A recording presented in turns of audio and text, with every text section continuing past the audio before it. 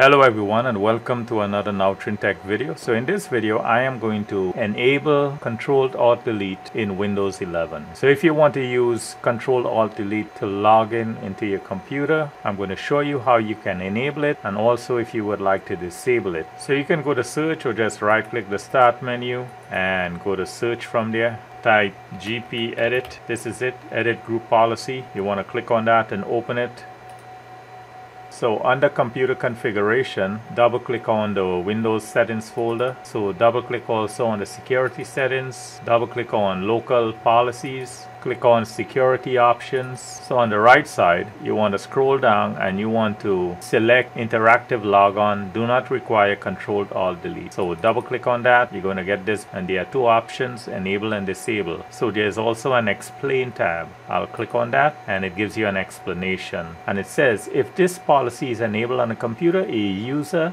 is not required to press control alt delete to log on. And if this policy is disabled, any user is required to press Ctrl Alt Delete before logging on to Windows. So I'm going to set this to disable. Click on Apply.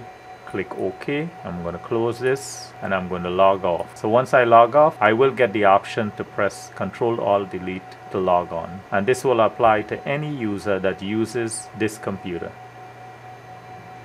So this is how it looks. Press Ctrl Alt Delete so I'm going to go back to GP Edit. I'm going to type GP Edit, click on Edit Group Policy. I'm going to go to Windows Settings, Security Settings, go to Local Policies, Security Options. So if you want to disable Control Alt Delete, you just have to select Enabled, click Apply and click OK. And Control Alt Delete will be removed from the computer. So I hope this video was helpful to you. I thank you for watching and I thank you for subscribing.